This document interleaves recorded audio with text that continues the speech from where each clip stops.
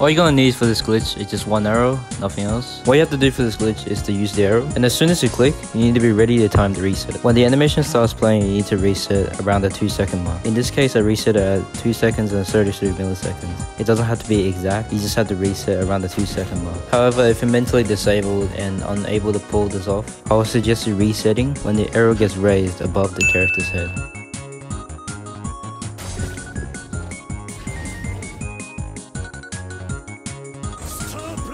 As you can see, I gained the stand Star Platinum, and I kept my arrow.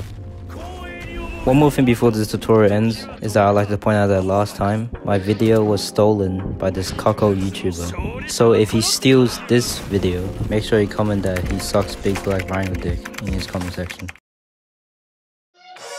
Arrivederci.